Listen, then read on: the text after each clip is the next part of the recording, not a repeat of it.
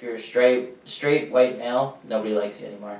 It seems to me the teachers have a problem with you questioning now, and a lot of us that are straight white males question why we have people identifying as a cat, and they just don't like that. Like, say it's first day of class, they, Yeah. they come in, you go around, er, I mean, some people want to share, some people don't want to share what their pronouns are.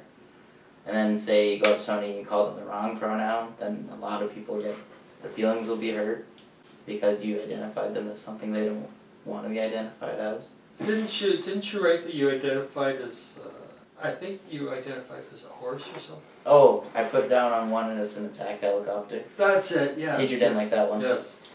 But you know, you can identify as a cat or a dog, just not just not a helicopter. That's just that's crossing too many lines. Small fringe minority holding unacceptable uh, views.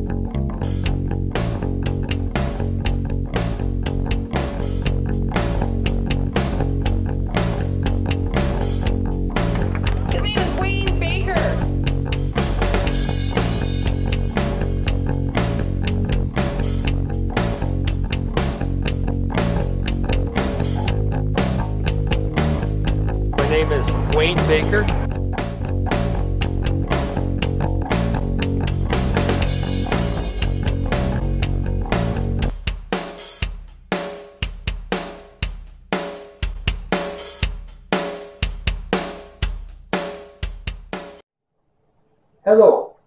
Wayne Baker, Wellington candidate for the People's Party of Canada, with episode number three of the Purple Microphone. Over the last five years, you've surely observed that woke ideology has been increasingly pushed upon children and teens by the government, media, and the school system. The woke movement began innocently enough bringing to light subtle and fringe forms of discrimination based on gender, sexual orientation, and race. Today, however, it has become the source of a new form of systemic discrimination against people who do not fall into any of its alphabet soup identities. Nowhere is such discrimination more apparent than in the government funded education systems. For an insider's account of what's really happening, John Manley and I interviewed Daniel Hotson, a student at Stratford District Secondary School. Daniel lives in Perth County. When Daniel turned 14, he took his first job working on a dairy farm. He is now 17 and is apprenticing at Van Nes Repair, where he is learning to become a car mechanic. In this week's episode, we discuss how Daniel has been discriminated against for being white, straight, male, and his worst offense, a critical thinker. Why Daniel was kicked out of class 10 times in 2023 for asking his teacher questions. The guilt being hoisted upon innocent students for crimes committed before they were even born by the Indigenous residential school system. How students can identify as animals, even wearing dog tags and barking Yet Daniel gets in trouble for pretending to be a pineapple. How teachers are favoring students who identify as transge- transgender or homosexual. How transgender legislation is undermining parents and destroying families. Disturbing evidence linking queer theory and pedophilia. The 1,400 students in Daniel Hotson's school are being forced to conform to the ideology of 40 gay and gender dysphoric students. This interview contains some shocking and mature content. Viewer listener discretion is advised. So, do you want to give us a, a bit of a rundown of who you are and what you're doing, and uh, and some of the, maybe a couple of stories you've you've you've had. So, Sure. Um, I'm Daniel Hotson. I go to uh, Stratford District Secondary School in grade 11. Um, currently working at uh, Van Nes Repair for uh, co-op. Um, had a lot of interesting stories about um, very liberal to say, um, I don't know what you want to call it, um, excuses for yeah, ignorance, I would say. Um, a lot of the new curriculum in the school is, in my opinion, very corrupt. Um, a lot of stories of like say correcting the teacher getting kicked out of class and just getting I don't know get in trouble for reasons you really should not be anymore. Can you give us one example of how you, Um, were you kicked out of class? Oh, I've been kicked out many times. How many times as many? Uh, I have ten or so easily. And what? Just last- this year. Just this year. Yeah. Were you kicked out previous? Like when did you start getting kicked out? Which grade did this Uh, start happening? mostly this year. Mostly I don't probably shouldn't name names on here, but mostly because of one teacher. Okay. Um, my English teacher really, in my opinion, is a hardcore liberal. Um, and they changed the whole curriculum now for grade 11 English is all Indigenous studies based. And a lot of the facts that our teacher is um, telling us, in my opinion, not true. And she doesn't have any, a lot of support to back that up.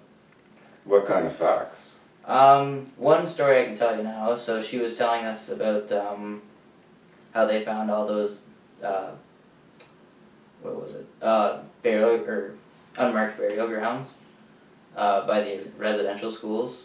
So I put my hand up and told her that that was false information, and I got sent down to the office for that one. And but I told her I could prove that it was fake, and she just sent me straight down to the office. So she didn't even give you an opportunity to No. present any evidence? Yeah. That is. That's a head shaker. Yeah. That's a head shaker. Um, yeah, that, uh, that doesn't make sense. like No. I, I, I could understand if he was in class and he said, you know, something like, I hate all indigenous people and we should kill the rest of them off. Well, maybe he should have a talk with the Yeah. principal. Yeah, I personally, I I have no problem with them at all. Like they, if they do their thing, I'll do my thing. That's how it is. I'm not gonna. I got nothing, no problem with them at all. Now, what proof did you have then? I oh cracked Did open you the get a chance? laptop. Yep, and I searched. I found looked up. Um, I don't remember exactly I looked up, but I was sat on my laptop for about thirty seconds, and I found five sources saying it was fake. Yeah. Because they never actually unearthed these graves. It No. was just done with Yeah, they did the X-rays or Yeah. Yeah. And I- the sound or sound. oh penetrating- sound Yeah, sound, penetrating. penetration. Yeah. Yeah. Because one of the schools they actually went down to the basement, or it was under a church where they claimed there was one of these burial, and they actually dug it up and they found it was just boulders. Yeah. Yeah. I, I have no doubt that there are unmarked graves. Oh, 100 percent. The, the reason being is the graves were originally marked, Yeah. but they would have been marked with, with wooden crosses Yeah. or, or, or wooden markers. And over the years, those, you know, wood does what wood does, it deteriorates. And it would have broken back down into the dirt Yeah, in the exactly. ground. Um, they really didn't have resources for anything else other No. than those wood markers, so, so, um, claiming them to be unmarked graves is, yeah, okay, that's fine, they are unmarked. Um, I have a, a, you know, on that tangent, um, we, we have, like our, our residential schools were based off of Great Britain. Yep. And the British, um, um, insisted their children go into residential schools, and they were treated pretty well as harsh as, if you wanna call it harsh. Yeah. Um, I think, I think these schools were a magnet for less than idealistic teachers and less than ideal teachers. You just described one yourself Yeah, exactly. um, that are, uh, are, that they were corrupt, they had other motivations other than to teach.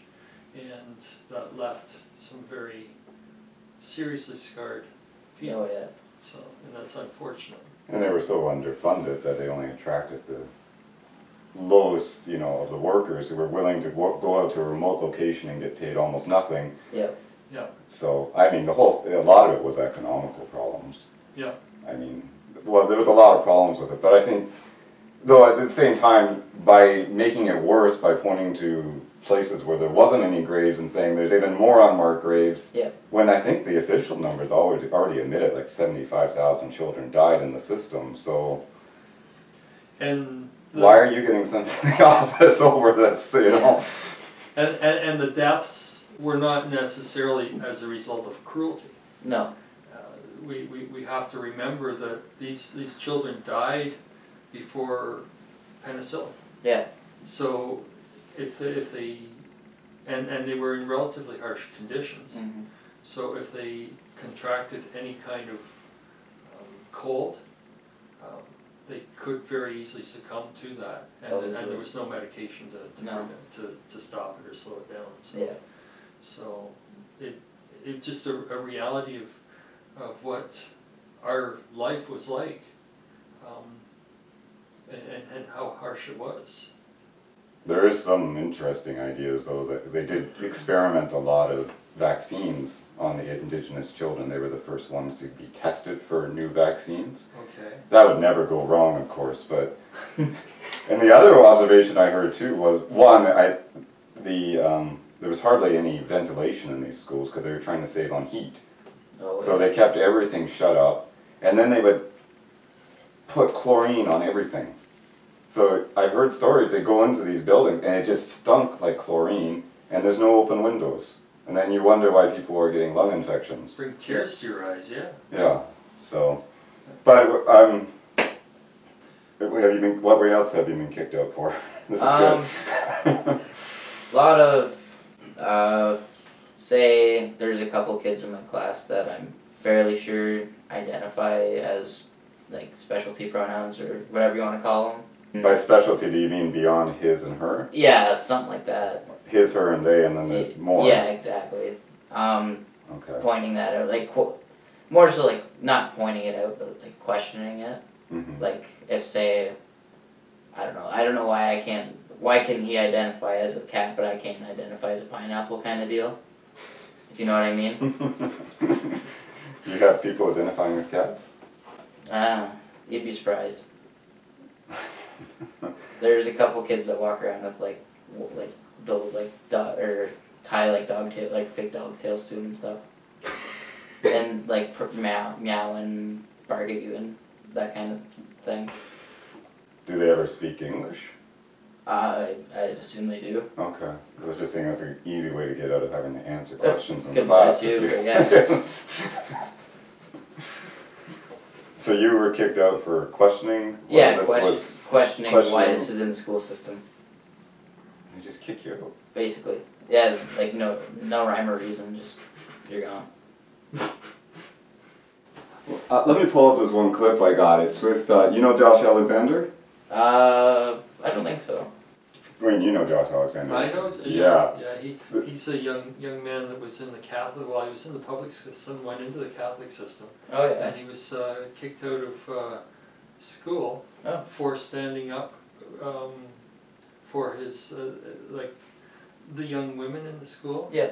Um, they have their own washroom and he Yeah, stood yeah. up Well, said. they don't, that's the problem. That's, that's the issue, yeah. Yeah. Okay. Yeah, so he stood up and he ended up getting kicked out as well. I want to play a little clip here with Jordan Peterson where he tells one of the first times he got kicked out of class. I think you'll you'll appreciate it. And what's the rationale for? I'll get back to your parents, but what's the rationale for your continued suspension exactly? I mean, that's a big, that's a long suspension. I don't know what you'd have to do on the juvenile delinquent side to warrant that sort of suspension, but it would have to be something pretty damn serious. Maybe you'd have to knock a teacher unconscious with a metal chair, for example, like happened last week in the US. Though I doubt if they'd suspend that student for 10 months. I guess we'll see. So, what's the rationale for the for for keeping you out of school? And this is So a Catholic far, school, yeah, right? it's a Catholic school. which makes school. it even more blackly comical as far as I'm concerned. Yeah. Because you'd think they might be on the side of the, you know, the, the scriptures. Yeah. Just you might. that, warrant that was what I guess. thought. Like I'm I'm personally not a Catholic. I'm a born again Christian, but um, going into the Catholic board, I would have assumed that they would um, maybe sympathize with my views a little more than they did. But anyways, we get in there, and actually, it was on one of my first days in the school.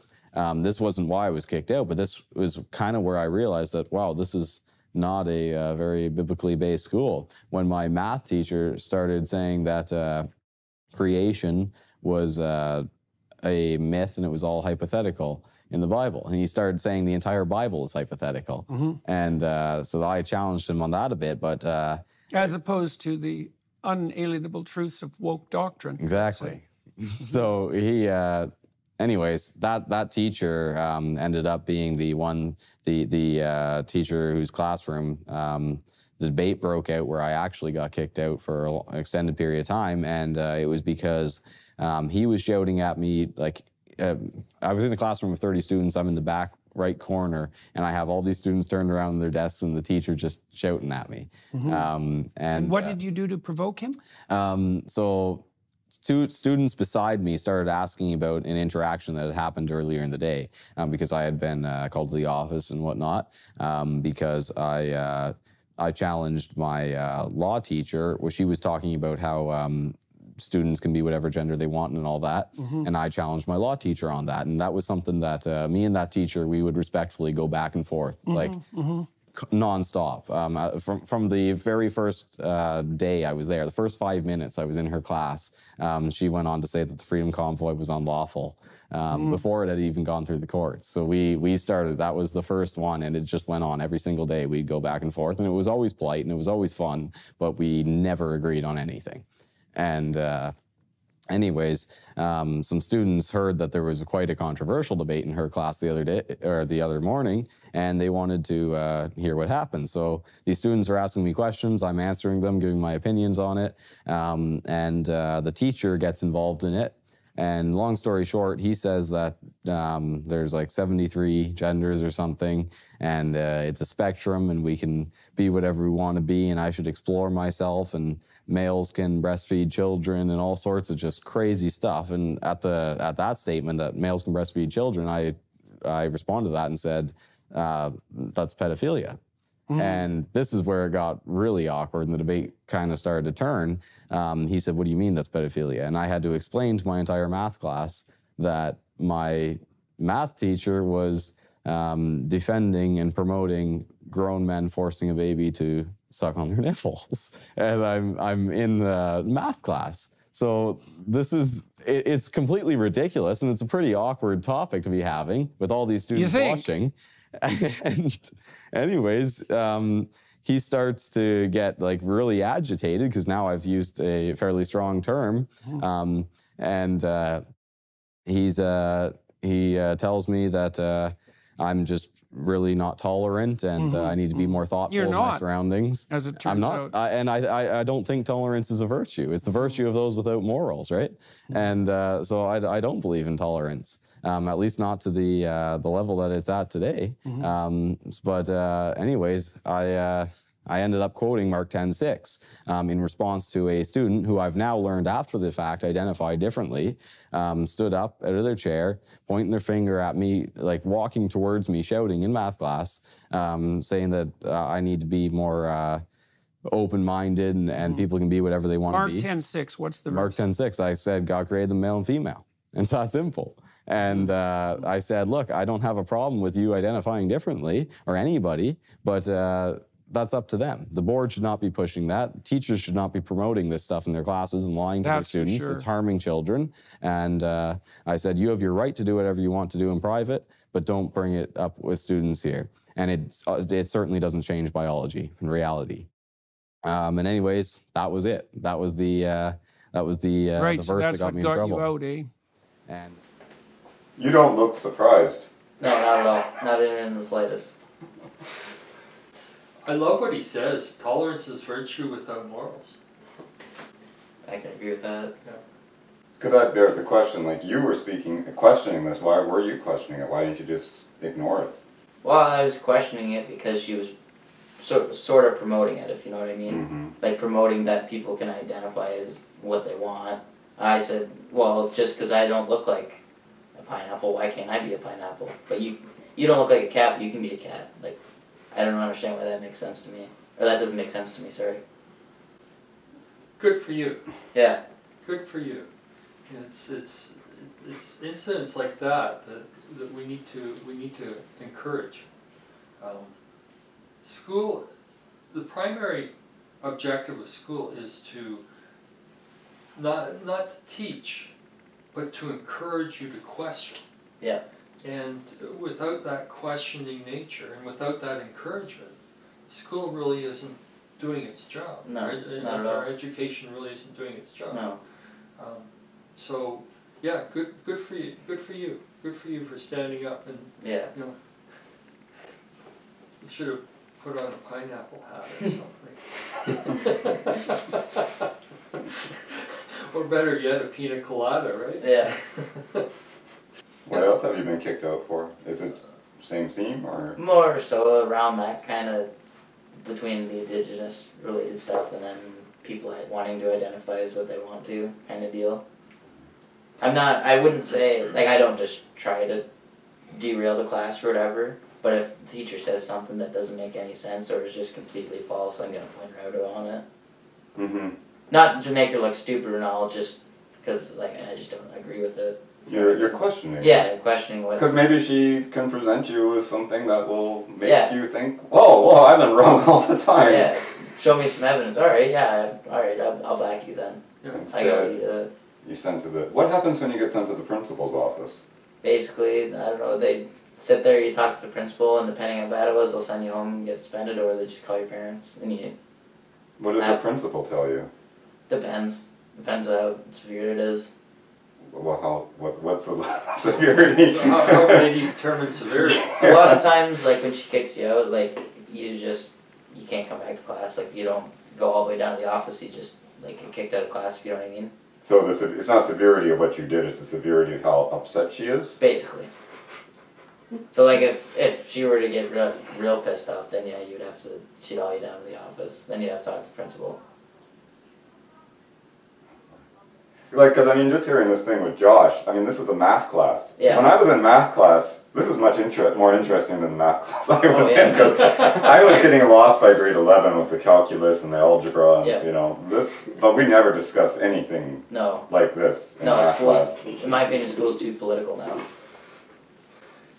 I, I have, I, I, I'd like to share an incident, um, now, if you listen to CBC at all, there is a reporter that praises Mrs. Lukianchuk.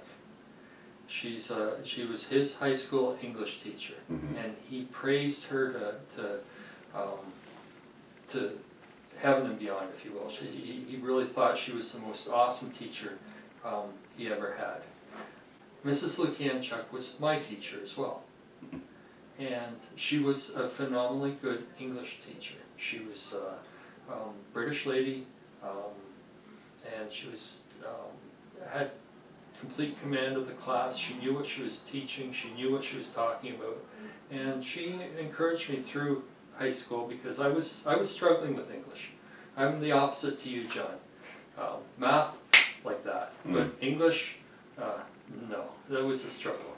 So, anyways, we uh, we read the Mayor of Cas- Casterbridge, and uh, I love to read, so I, I read the entire book, and we're talking, reviewing it, um, and she, I, part partway through the review, I sort of stuck my hand up. I'm one of those kids, back of the class, you know, Yep. not not really uh, not really into it, but oh, what the heck. So I stuck my hand up and You're stuck there, you might as well. yeah, that's right. I put my hand up and I said, and, and she responded to my hand, and, and I said, you know, I'm really thinking that the Mayor Casterbridge is all about the, uh, the theory of evolution. And she stopped. And she says, what do you mean?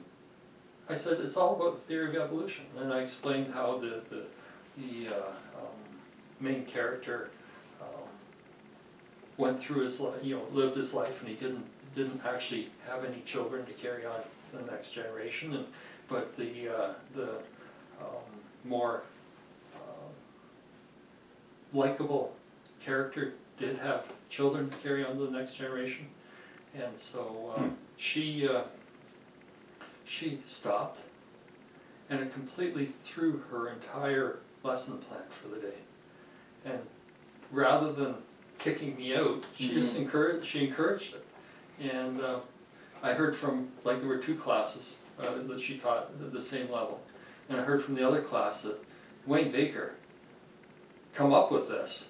And I don't know where he got it from, but he's spot on, and, and so I disrupted two of her, her two of her classes um, from that one comment. So, so that's the mark of a good teacher. Yeah.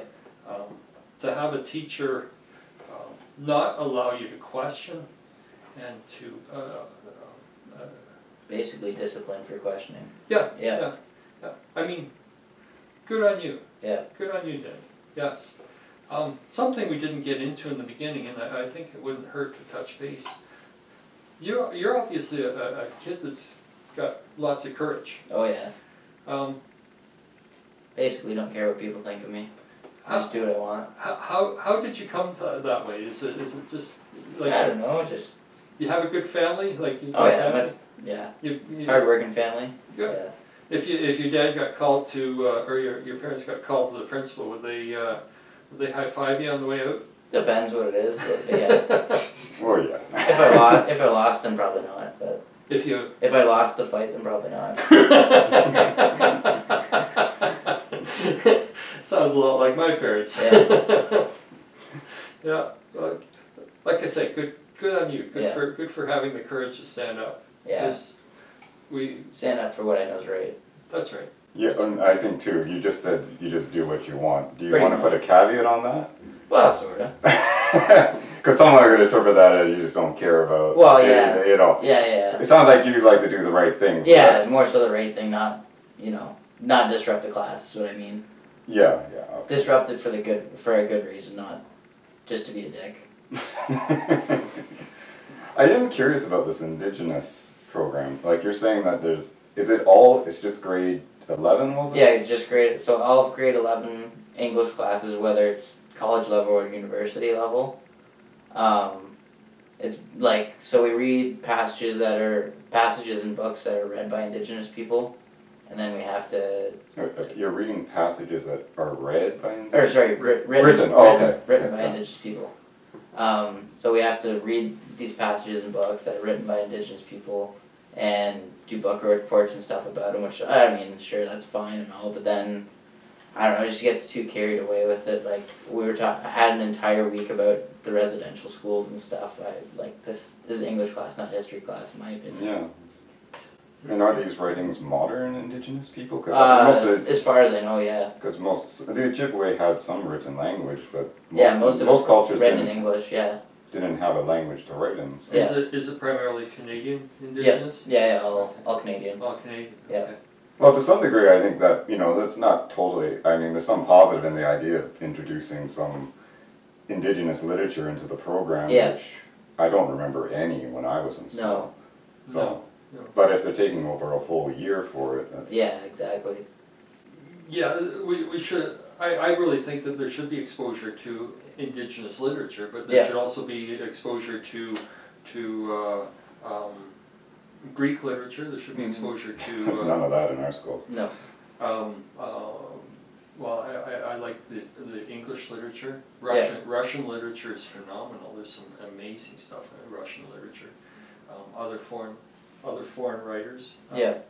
yeah, the- you should, you should, you should be encouraged to experiment with Yeah, exactly. wh- who you read and what you read, so. Yeah, we're basically limited to the indi- indigenous related stuff for 11th grade 11 in English.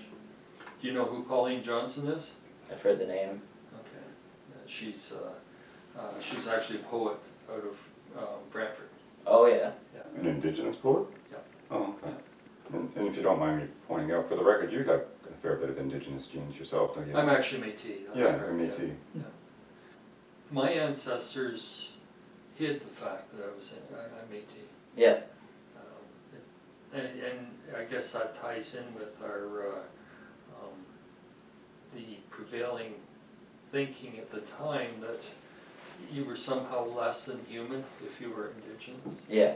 Mhm. And so that, that would explain the motivation for my ancestor Keeping it it from me. Yeah. Um, it's unfortunate, um, but it's, I find it interesting that small-minded people will respond that way. hmm And we, we, we experienced that over the last two years, three years now. Um, That, uh, um, if we chose not to follow the norm, or we, you know, for whatever reason, we didn't follow the dictates of government, we became somehow less than human. Yeah. Mhm. And that's, um, that's the same with the indigenous population. Yeah. Um, there, there are, um, there are sad stories on both sides of the spectrum. Mhm. And that's something that is, you know, with the indigenous population, it's something that's not usually pointed out, is that there were children that did not go to residential school. And those children lived a very hard, hard life Oh, yeah. afterwards. Because they didn't have an education. Yeah. And in our society, one of the, one of the hardest or, or most invisible um, handicap is not being able to read, Oh yeah. uh, not being able to read and write. uh, Yeah. Because people can, people look perfectly normal. And so they, they can, they can get away with that, that handicap and not really, no one can really know for sure that, that they are handicapped that way. Mhm. And it's worse than being blind or, or being deaf. Well, actually, for blind people, it's interesting, you know, the Brantford School for the Blind, Yeah, it's right there. They have a ninety percent illiteracy rate.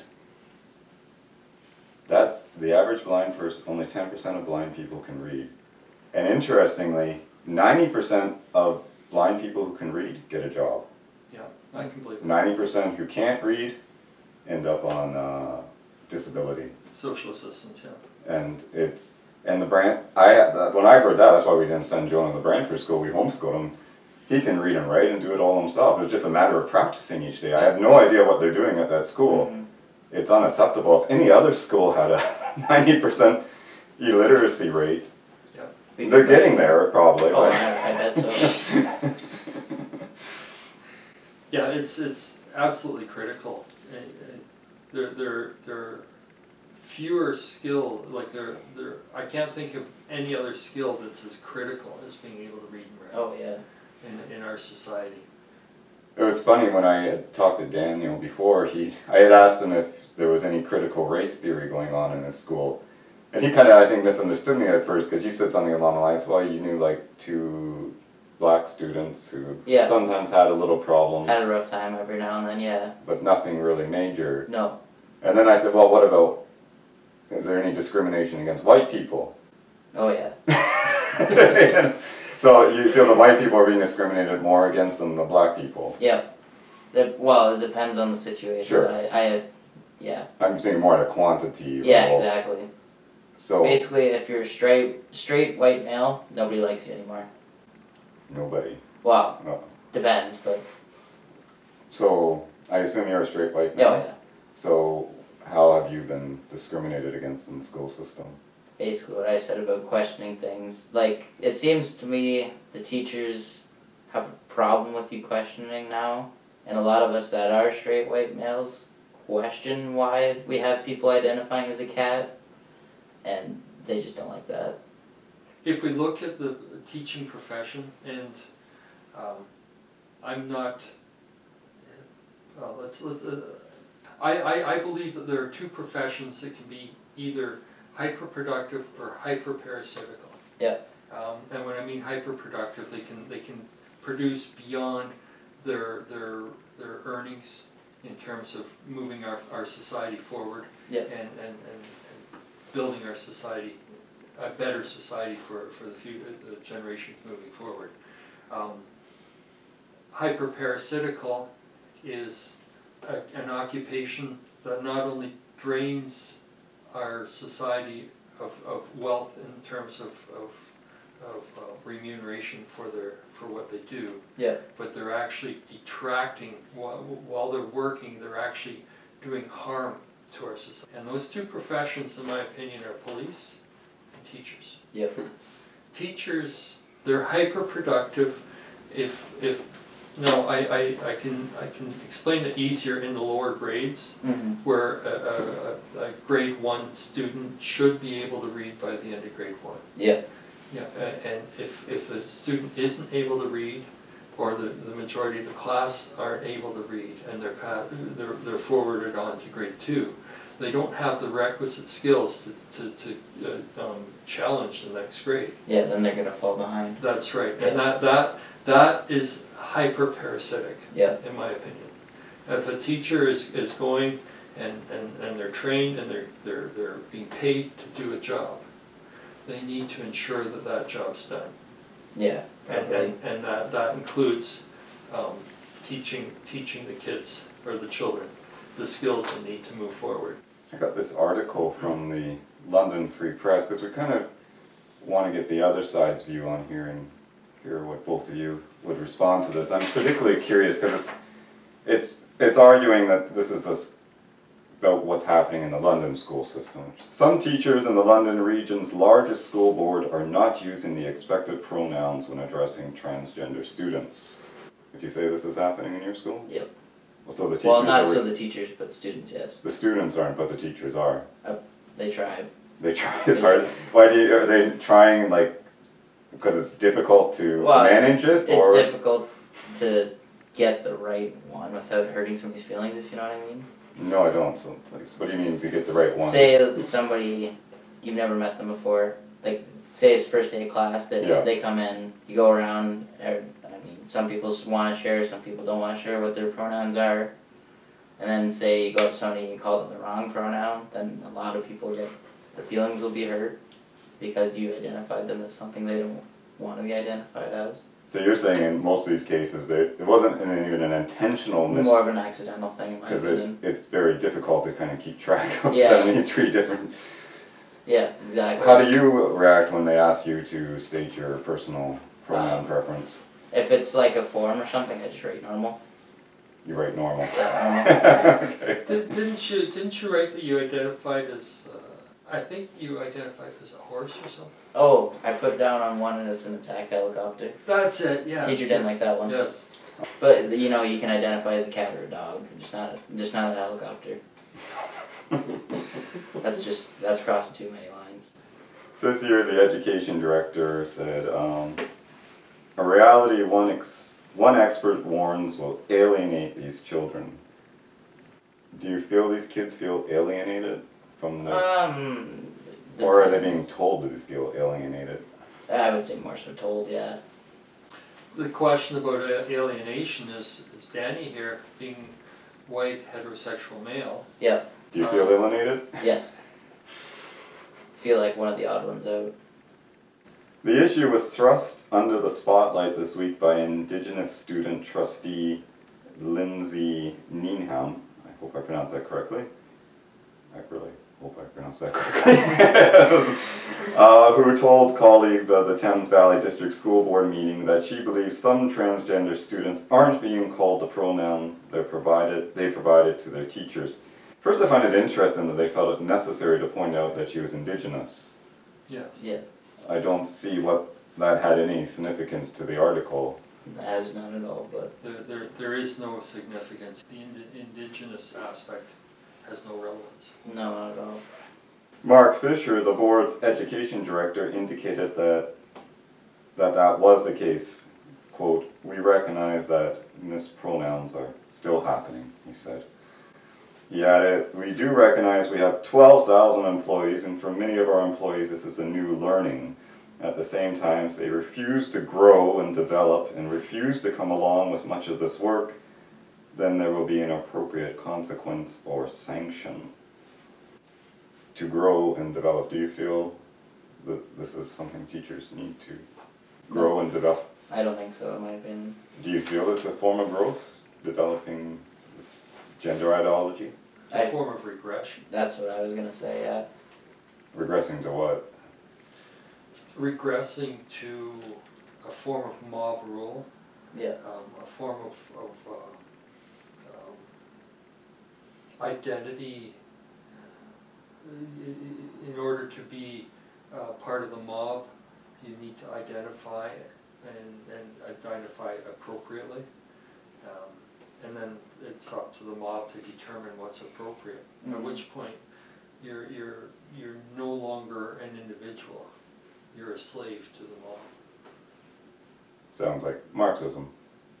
I was leading up to that, that's correct. Sorry to jump ahead. No, that's, that's fine, uh, you're, you're exactly right.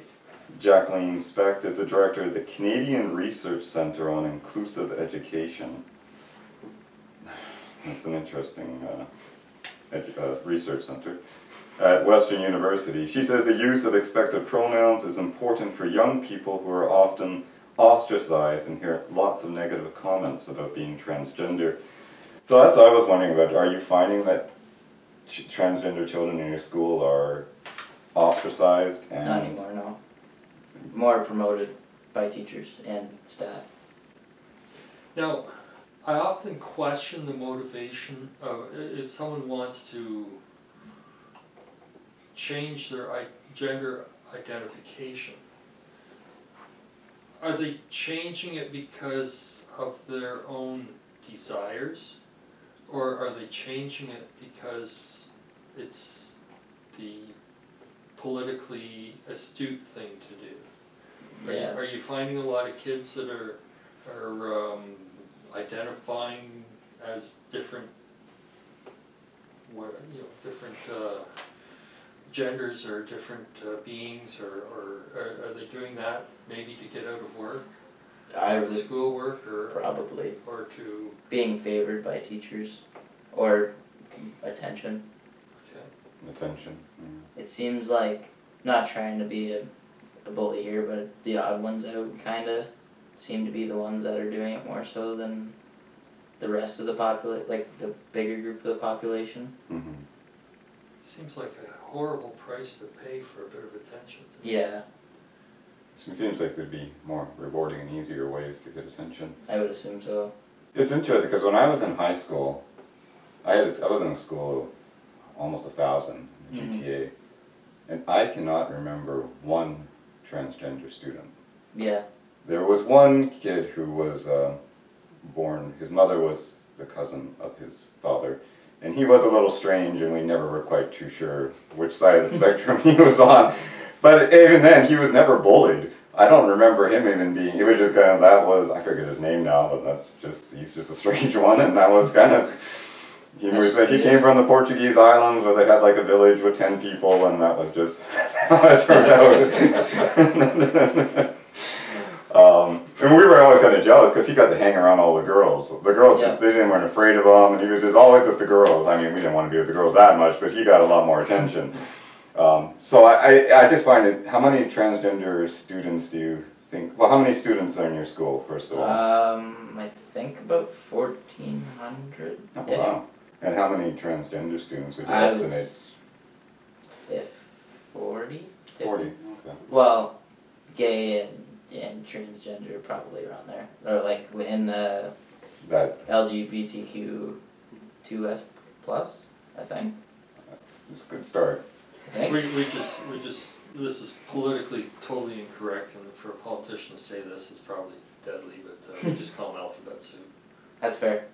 I can see that. Yeah. Well, it's, it's, it, how can you have a community that's that diverse? Yeah. It doesn't even make sense. Just- Right. Yeah, exactly, exactly. How, how, how can they identify as a community when they're, I mean, what would we call it, seventy-one different pronouns? Something like that. Yeah. It's, it's like, when there, you know, seventy-one different pro- pronouns and there's only seventy, well, you said 40, 40, 50 Something like students that. Yeah. that are, uh, that are special. Yeah. Fourteen hundred kids have to confine to a tiny like what? That's five percent or something of the population. Mm, Eight percent or something like Yeah, that. it's, it's very, very small. Yeah. Yeah. Uh, the entire population has to confine to a Has very to small conform, percent. conform. Conform. to- Yeah. Conform to that, uh, Yeah. to that ideology. And- Yeah. Because to even answer a question, like we were at a musical on the weekend uh, rehearsal, and they were asking for our personal pronoun. I just skipped the question, but to be asked that question assumes that I actually think it's a possibility for me to have a personal pronoun. Yeah. And, and to think that you, it, it also assumes that you agree with Mhm. that whole mentality. Mhm. Yes. Which I think is quite harmful to the, especially young children. Oh yeah. Exactly. I noticed the only two, the, all the kids identify with their normal gender except for two little girls, and I think they're just, you know, they're going through a transition in their life, and this is not a way to help them through it by, No. if anything, I consider it psychological child abuse.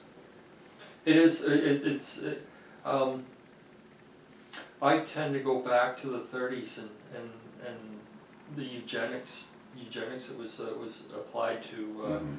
to non-conforming children, like, like, like they, they, we thought that that would, um, solve, um, some ge- genetic shortfalls. Oh, you mean like Down syndrome children and Well, the- the- children with mental retardation, There, there, there was that. There was also other things that, that they criminal misbehavior and that?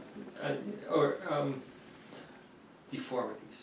Oh, like physical Yeah. deformities? Yeah, Oh, okay. Like, like, like you have the Yeah, problem with your genetic. eyes and, and, Yeah. and, and so, uh, like, like they, they were, they were um, experimenting with that. They were experimenting with the black population, with, Oh, yeah. uh, with um, um, syphilis. I don't know. Yeah, I've heard about that. Yeah. But, but that was all um, out of the thirties, and it was completely discredited. So now what are we doing?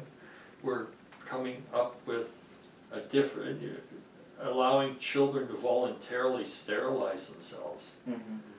Well, yeah, that's the, beyond the psychological, the physical path this leads to. That's, Have you had any students in your school actually undergo surgery or on puberty Um, blockers? Not that I, well, I probably puberty block- blockers, but I can't comment on the actual surgery or not. Sure. The uh, administrator here was saying, I know a lot of teachers and I don't know any who would do something to personally harm a student in the way of using the wrong pronoun. But that's not to say there aren't those people out there. so it's okay to not harm a student that is identifying as a deviant, and yet it's perfectly fine to harm students such as Danny. Mm-hmm. Yeah, Who uh, don't want to conform to the new ideology. Who, who's actually identifying as a normal young man. Yeah. and the way they put that there, you know, that, that those people are out there, like they're, you know, A group of, evil Evil, people yeah. who will call a boy a he and a girl a she. Yeah, Yeah, well, again, I'm one of those, Mhm. you know, don't If you vote for, don't vote for me because of that, that's fine with me, I'm not, I'm not gonna, Yeah. I'm not gonna bow, to- kowtow to that. It, I, I, I'm seeing it as a form of pedophilia. I really am seeing, especially, especially when we're, we're seeing young children being encouraged and, and, and the legislation that we have in place right now. If a, a, a child comes home and identifies as, as, as one of the opposite sex, there's absolutely nothing a parent can, uh, well, a parent faces five years in jail and criminal charges Really. if they, if they try and counsel that child away from that, dece- that. And this is, this is five and, you know, children out in kindergarten, grade one, grade two, Holy. That kind of behavior is, is, is sick. Yeah. That, that kind of legislation is sick. Yeah, that is And- just bad for the human mind. It, it, it's bad for the, bad for our, our, our country, it's bad for, uh, um, it, it's just, it, it, it undermines families. is Oh, what it does. 100%. It- it- And, and any, any legislation that undermines families is Marxist. Yeah. It, it- it's, it's, it's, it's blatant Marxism, Oh yeah. so. Here's uh, I actually had an article, a little clip from Global News, just giving the other side about why you're totally wrong, Wayne. Okay, can completely turn your life around and near ruin your life. For Charlotte Finley, coming out to her parents was a positive experience, but for some of her friends, it meant facing abuse or ending up on the street. It's those parental reactions that have members of the LGBTQ2 community worried about recent policies in New Brunswick and Saskatchewan, and potentially Ontario and Manitoba soon, too. Both provinces now require schools to get parents' permission for pronoun use and name changes. This isn't about specifically pronouns. Uh, this is about uh, bringing families closer to what is happening um, in, in their child's school and ultimately in their child's classroom. Depending on the family, it could mean youth not having proper support or hiding who they are. It can cause a lot of stress and possible suicides to occur within more, especially trans youth, who, who this would be affecting a lot more as for like the name changing. Studies have shown LGBTQ2 youth with high levels of parental rejection are about eight times more likely to report attempting suicide. This sort of like family support for 2S LGBTQ youth is often a life or death situation. I've worked with so many young people who have to- told me, you know, stories about how their lives have been threatened um, by their parents after coming out. And conflict with family around a child's identity is a major factor to youth homelessness, with about 40% of homeless youth identifying as LGBTQ2. It's actually the most frequently cited pathway into homelessness among 2S LGBTQ uh, young people. Alex Abramovich with the Center for Mental Health and Addiction says the policies could create one less safe space for youth. Everybody should be able to go to school freely and just be who they are and not have to have this added stress, this added sort of um, burden of, of, not being able to just to, to be yourself. Some arguments behind the policy changes are about broadening parental rights surrounding gender identity. Yet Jamie Sagrove at the Canadian Centre for Gender and Sexual Diversity says being against the changes is not about opposing parents being involved in their children's lives. If a youth is not necessarily ready to tell a parent about that name change, um, wondering why maybe that is, and, and making sure that there are safe environments where, where youth can explore their identity without having to think about the repercussions at home. Anna Kinderwater with Calgary Pride says she came out later in life, but while she won't be impacted by the policy changes, she says those backing the policies should consider why they are doing so. I just really encourage people to think about this from a human perspective, not just from the perspective of um, wanting to put this through because it puts a blockage um, from confronting them with a conversation that scares them and they don't understand it, which I think is a lot of the issues that I'm running into. She says parents may be scared to have the conversation with their child or they don't understand it and don't know how to approach it. Is it really worth putting something through that would harm hundreds of kids versus having a difficult a difficult conversation and learning about something that makes you uncomfortable? With Manitoba and Ontario signaling changes of their own, it's a conversation more Canadians may face in the coming months. Sean Cubble, Global News. My first question there, how many of these people are you are, are, are identifying like this because of the opportunities offered them. I really question like like that Anna Kinderwater. I mean, I wonder if she identified any other way, if she would still be the manager of, of that, that institution that she's manager of. I really question that these people are, I question a lot of their motivation. And I really don't trust their motivation. Um, the whole, and again, I'm going to be very controversial here, uh, potentially. The whole concept of deviant sexual behavior revolves around predatory behavior. And we've allowed the predators into our institutions. And that's really dangerous, very, very dangerous. And Danny, you're, you're feeling the effects of that. Oh, 100%. predatory behavior. Yeah. Have you seen the um, the transgender Jeopardy teacher? He was a teacher in a school where he uh, he played this Jeopardy game with the classroom, asking them about uh, the history of the transgender movement, and he was able to cite that everyone involved with the transgender movement, like the big names who promoted the ideology, every single one of them believes that adults should be able to have sex with consenting children. Actually, actually, it seems you're acting like this is a spurious connection. So we're going to play Jeopardy. This is we're going to play queer theory. We're going to play queer theory pedophilia Jeopardy. Okay, answer. Uh, commonly called the godfather of queer theory. Who is Foucault? Who is Foucault? Okay, 100 points. Um, Foucault. Uh, another way to ask this is who argued, no, I guess the answer would be, argued for the eradication of age of consent laws as in down to infants. Who is Foucault? Thank you. Okay, next one. Um, uh, the author of the the author of the uh, founding document of queer theory. Who is Gayle Rubin? Who is Gayle Rubin? Um, what percentage? No, no. The answer is 50 percent. Question is. The amount in that article that was a defense of pedophilia, specifically, quote, boy lovers, so men who fuck boys. Oh.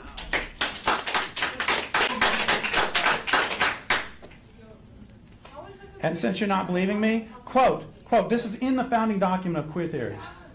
Like communists and homosexuals in the 1950s, boy lovers are so stigmatized that it is difficult to find defenders of their civil liberties, let alone for their erotic orientation. That's in the founding document of queer theory.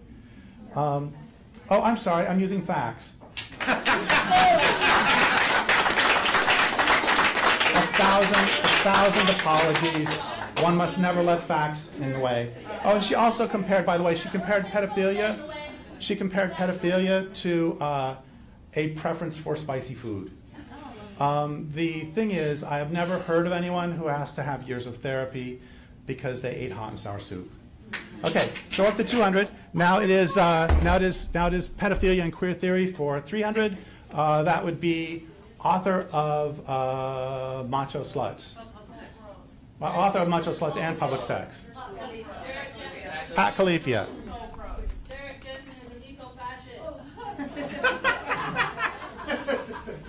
Wait, wait, wait. What was it somebody said? Stay relevant. Okay, here's something from one of uh, Pat Califia's books. You know, it's really interesting. It's really interesting that when I actually start talking about the relationship between queer theory and anarchism and pedophilia, that uh, it becomes, they, they really want to shut me up now. Um, Sure do.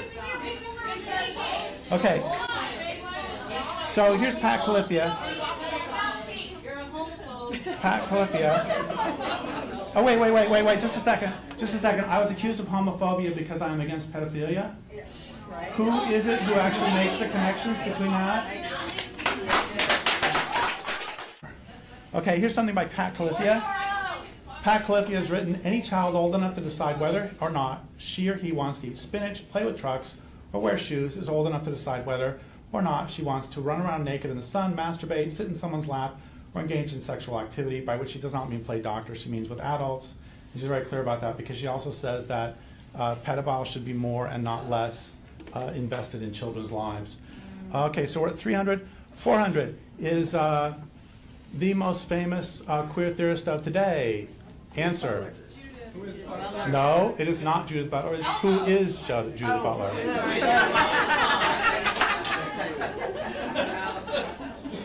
Okay, Judith Butler is the most uh, famous queer theorist of the day. We see you, all of you supporters here, who Good. do not care about trans people's lives. Every person here supports Derek Jones. That you don't Okay, okay, okay. Here's a great quote from Judith Butler. Here's a great quote from Judith Butler. Are you supporting them?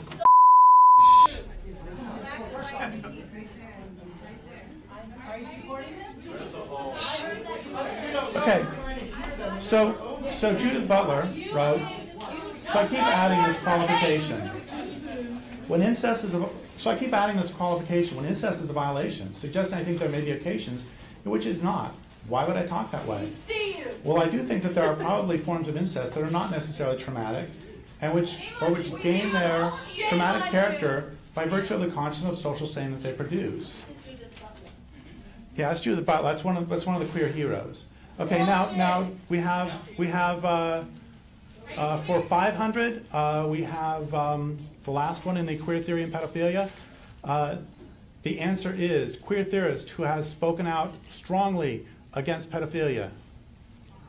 Who is no one? Who is no one? Not a single one. Because the entire thing is based on transgressing. That's just wrong. Pedophilia. Yeah, they, 101. They believe in consensual pedophilia, which I think is an oxymoron because I don't think a child could consent to something like that. No.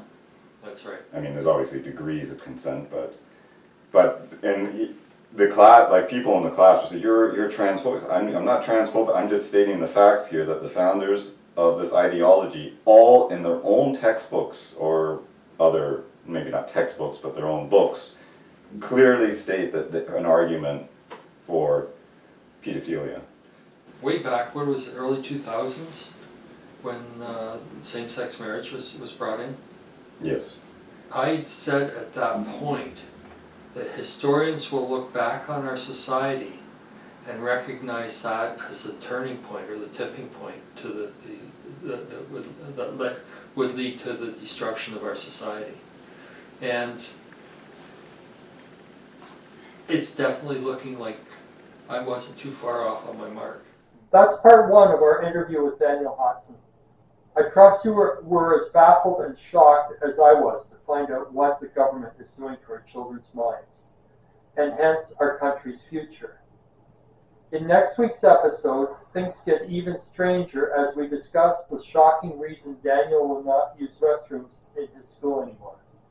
How Daniel's teachers waste time indoctrinating students with LGBTQ1A2S plus ideology instead of focusing on, on more appropriate lessons such as algebra formulas.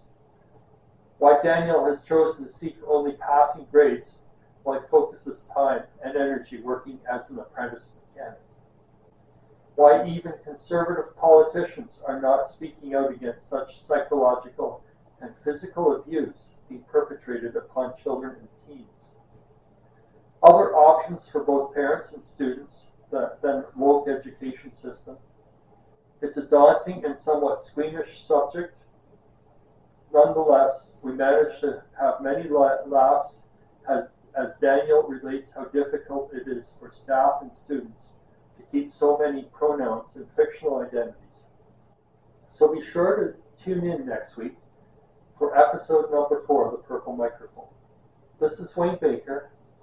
Thank you for joining us as we realign Canada towards a path that leads to freedom and fairness for all people, regardless of their color, sexual orientation, or personal belief system.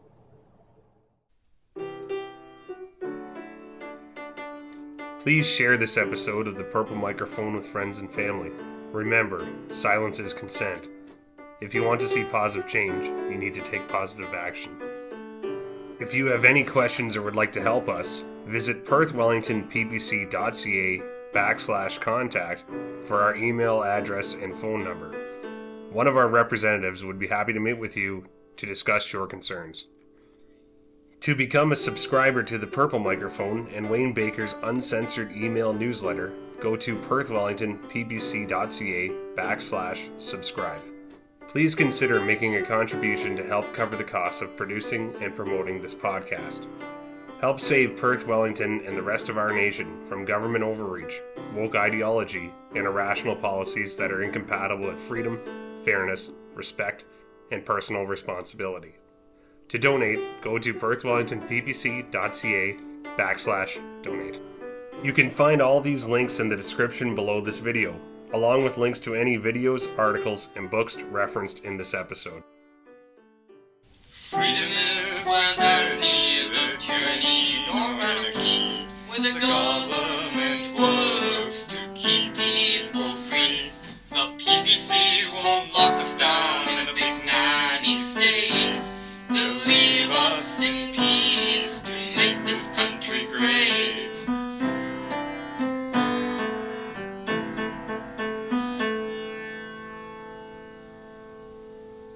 This production was approved by the Perth Wellington People's Party of Canada Electoral District Association.